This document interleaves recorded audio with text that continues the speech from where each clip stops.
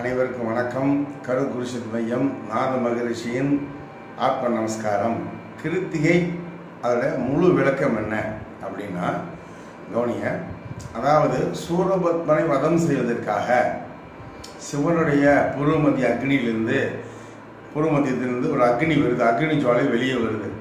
அந்த ஜுவாலையை பிடிப்பதற்கு விநாயகர் ஒதுங்கிறாங்க சக்தி ஒதுங்கிறாங்க தேவர் ஒதுங்கிறாங்க எல்லாம் ஒதுங்கிறாங்க கார்த்திகை பெண்கள் ஆறு பேரும் அந்த கையில் ஏந்துறாங்க அந்த ஆறு ஜுவாலையும் ஆறு குழந்தைகளை மாறி அவங்க வளர்த்தி ஒருமுகமாக முருகபெருமான அவதரிக்க செய்கிறாங்க அப்போ முருகன் சொல்கிறாரு நானுடைய முருகனுடைய சிவபெருமானுடைய அக்னி ஜுவாலிருந்து நான் வந்தேன்.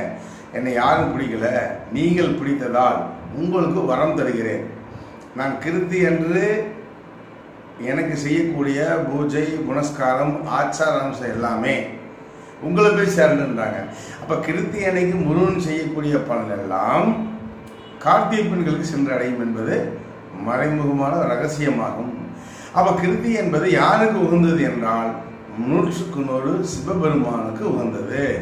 என்ன சார் இப்படி சொல்றீங்கன்னா கற்றது கைமண் அளவு கல்லாது உலகளவு.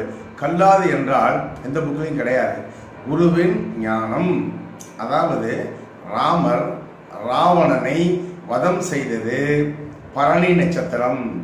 பரணி நட்சத்திரம் என்று ராமர் ராவணன் செ- வதம் செய்துவிட்டு சீதாதேவி அழைத்து கொண்டு ராமேஸ்வரம் வலு கிருத்தியை வந்தார். வந்துட்டு இலங்கையை இப்படி பார்க்குறாரு. பார்த்தோன்னே பார்த்துட்டு பார்த்தோன்னே எல்லாம் ஏன்னு சிரிக்கிறாங்க? ராமர் மட்டும் கண்ணில் தண்ணி விடுறாரு. அப்போ லட்சுமணனும் ஆஞ்சநேய என்ன கேட்குறாங்க? ஐயா நம்ம எல்லாம் உயிரோடு தான் இருக்கோம்.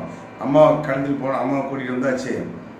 நம்ம இப்போ அயோத்தி போக போகிறோம் ஏன் சாமி கண்ணில் தண்ணி விடுறீங்க அழுகுறீங்கன்னு கேட்குறாரு அப்போ ராமர் சொன்ன வார்த்தை நான் ராஜாவுக்கு மகனாக பிறந்து அஞ்சு வயசு குரு வச சிஷ்யன் போய் சேர்ந்தேன். கல்யாணத்துக்கு முதல் நாள் நைட் தான் வந்து காலையில் கல்யாணம் மத்தியானம் நான் வந்து வனவாசம் வந்துட்டேன். வனவாசம் கால் அஞ்சே மனைவி கடத்திட்டாங்க. மனைவி கடத்திட்டாங்க.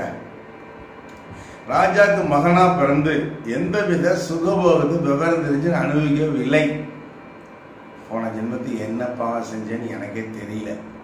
இப்போ நான் தெரிஞ்சு என்ன பண்ணியிருக்கேன் அப்படின்னா என் மனைவியை கடத்தி வந்ததால் ராவணன் ராவணன் குடும்பத்தை வந்து அழிச்சிட்டேன்.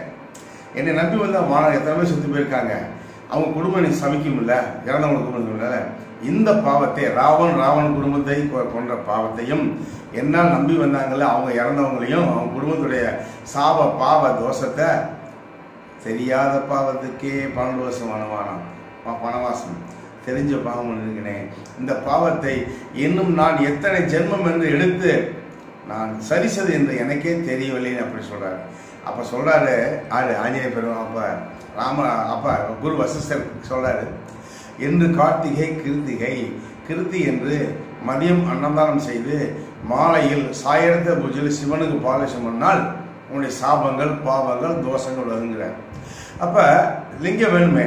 லிங்கத்தை எடுக்கிறதுக்கு ஆஞ்சநேய பெருமான் நம்ம லிங்க வடிவ சென்று இலங்கை சென்று ஒரு லிங்கத்தை வடிவமைச்சு லிங்கத்துக்கு பின்னாடி வாழ் வடிவமைச்சு எடுத்து வந்துட்டு இருக்கார் அப்ப ஸ்ரீராம் ஜெயராம் ஜெய ஜெய ராம் அப்படின்னு ஒரு பாட்டு படிச்சுட்டு இருக்காங்க இவரு லிங்கத்தை வச்சுட்டு சொல்லி பாட்டு படிச்சுட்டு இருக்கிறாரு நேரம் மத்தியானம் மன்னதானம் பிடிச்சாச்சு நாலாச்சு நாலராச்சு அஞ்சு ஆச்சு ஆஞ்சநேய ஆளை காணாம் ஆஞ்சே என்ன என்ன பண்ணுறது ஆஞ்சநேய வழியே லிங்க வழியாங்கிறாரு. வசிஷ்டர் இப்போ ராமேஸ்வரத்திற்குரிய கடல் பார்த்தீங்கன்னா கலங்களாக இருக்கும். திருச்செந்தூர் கடல் வந்து பார்க்க நல்லா எந்த அழுக்கு இல்லாமல் இருக்கும். அப்போ அந்த சேதாக இருக்கும். அப்போ சேது அப்போ என்ன பண்ணுறாரு அந்த இருக்கக்கூடிய அந்த அந்த கடல் கரை இருக்கக்கூடிய அந்த சேரை எடுத்து கொண்டு ராமரும் சீதையும் வீடை வச்சு சிவலிங்கம் மாதிரி பிடிச்சி நல்லா கட்டி பொட்டு வச்சு பூ வச்சு பால் ஊற்றும் போது பறந்து வந்துடுறாரு. என்னமோ லிங்கம் வச்சு பிடிச்சிட்டு இருக்காங்களே நம்ம தான் கல்லிங்க எடுத்துட்டு வந்தோமே ஏன் பிடிக்கிறாங்க அப்படி மேலே பறந்து வந்தவர் சாமி நில்லுங்க நில்லுங்க நில்லுங்க. நான் லிங்கம் கொண்டாட்டேன் சிவலிங்கம் கொண்டாட்டேன் அப்படிங்கிறாரு. அப்படியே நிற்கிறாங்க எல்லாரும் கூடி அந்த பக்கம் அவர் இறங்கி லிங்கத்தை கை கீழே இறக்கி வச்சுட்டு நேராக வராது நான் தான் கல்லிங்கம் கொண்டு வந்துட்டேன். ஏன் லிங்கம் பிடிச்சேன்னு தள்ளாது? அந்த லிங்கம் மண் லிங்கம் களிமலிங்கம் நவரவே இல்லை. ஆச்சரியமாக பார்க்குறாரு. அப்போ வசிஷ்டர் சொல்கிறாரு என்ன சொல்றாரு தெரியுமா? ராமர் சீதை பிடித்த ஆத்மலிங்கம் இதை யாரும் அசிக்க முடியாதுன்னு சொல்கிறார் நான் குழந்த லிங்கத்தை என்ன பண்ண அப்படியே வச்சிருக்கிறாரு அதனால தான் ராமேஸ்வரத்துக்கு மெயின் கேட்டு உள்ளே போனால் ஆஞ்சநேய சிலை வெளியே சிலை வெளியே இருக்கும். உள்ளே போனீங்கன்னா கல் சிலை இருக்கும்.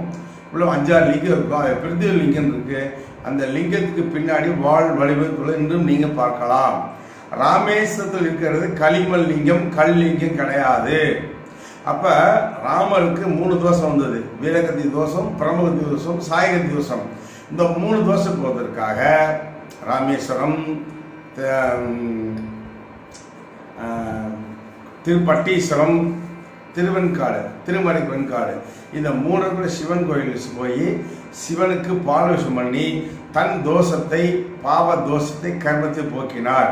அதுபோல் ஒரு ஒவ்வொருவரும் நம்ம பரம்பரை இறந்தாத்மங்கள் சாந்தி அடைவனும் நம்முடைய சாபங்கள் பாவங்கள் தோஷங்கள் கர்மவினை விளைவதற்கு கிருதி என்று மதியம் அன்னதானம் செய்து சாயத்து பூஜையில பாலோசனை செய்தால் உங்களுடைய தாக்கி கொண்டிருக்கூடிய அனைத்து சாப பாவ தோஷங்கள் முழுமையாக விளக்கப்படும். அழிக்காது. விளக்கப்படும் என்பதை உறுதியாக கூறுகிறேன். அப்ப கிருதி என்பது முருகனை விட நூற்றுக்கு நூறு சிவபெருமானுக்கு உந்தது மதியம் அன்னதானம் சாயத்து பூஜை பால் அபிஷேகம் இந்த ரகசியம் இந்த உலகில் யாருக்கும் தெரியாது.